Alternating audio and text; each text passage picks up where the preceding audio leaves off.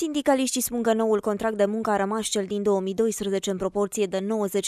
Au survenit însă și modificări. De aici ne dădeam cu părerea. Deci dacă am 12 ani, dacă am 7 ani vechime, am dreptul să cer un an fără plată.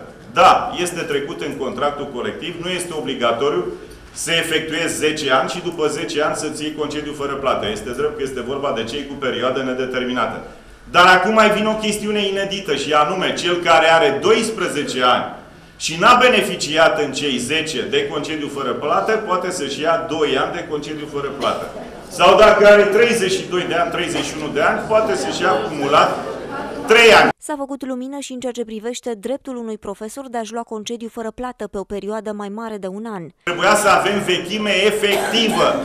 Deci cine era în concediu de creștere a copilului nu beneficia de sporul de fidelitate. Acum această chestiune s-a reglat și anume că printr-o cameră, Senat, a trecut prevederea respectivă și îți consideră vechime pentru sporul de fidelitate, dar am trecut și în contractul colectiv lucrul acesta, care se va reglementa doar prin modificarea articolului din legea 63.